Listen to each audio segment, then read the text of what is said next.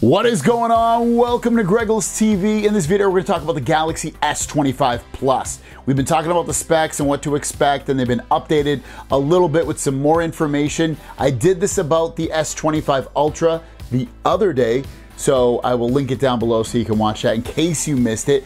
But let's jump into the S25 Plus with its 6.7 inch dynamic AMOLED 2x with 120 hertz variable refresh rate. It will be 2K plus uh, resolution on there like it was with the S24 Plus. So you have that to look forward to with its M13 OLED material set with 2600 nits peak brightness. So it should be basically the same as next year. Now, this might change, so if it does, I will definitely update, but that's what we're looking at thus far. Snapdragon 8 Elite processor, which is a game changer in terms of performance. 40 up to 40% more performance in gaming and day-to-day tasks and just CPU, GPU, everything. It's amazing. The scores on it are absolutely ridiculous. This thing is gonna be a complete powerhouse. It's insane how powerful this thing is. 12 gigs of RAM on the S25 Plus, which is nothing to um, be upset about. Would it be great if they pushed all these phones up to 16 gigs?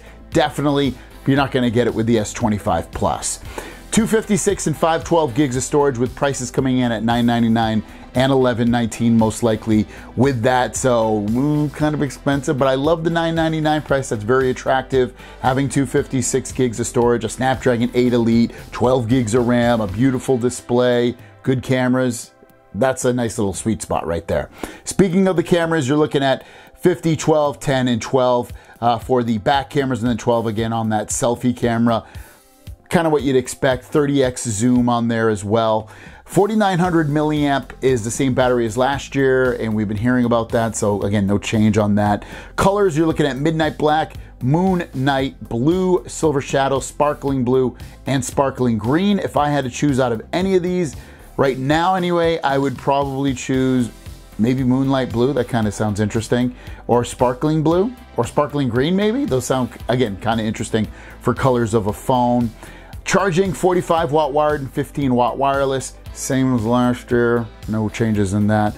Uh, 7.3 millimeters thin versus 7.7 in last year, so you are get getting an improvement with that, which is nice. You always want these things to get, like maybe not always, but if they're gonna, if they're not gonna increase the battery size, sure, make the phone lighter and thinner. I don't have uh, any announcement on the weight, but I would assume it's going to be lighter as well. One UI 7.1 based off Android 15. Um, they haven't even launched One UI 7 for the public yet at the time of making this video but they should be very, very soon. New Bixby AI enhancements, which is going to allow you to communicate easier and better and get more information through a uh, Bixby.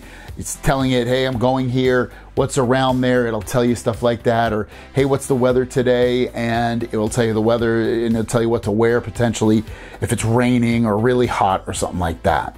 Seven years of OS and security upgrades. Very par for the course. Don't be surprised if this goes up to eight because of that Snapdragon 8 Elite. They mentioned that it can handle eight years of updates from Android, but we'll wait and see if that the rest of the companies end up doing that because it does cost a lot of money to keep um, supporting these devices that far into its life cycle. January 2025 release date still is what we're thinking. Um, don't be surprised potentially if it gets pushed into February though. But yeah, looking really eerily similar to the S24 Plus.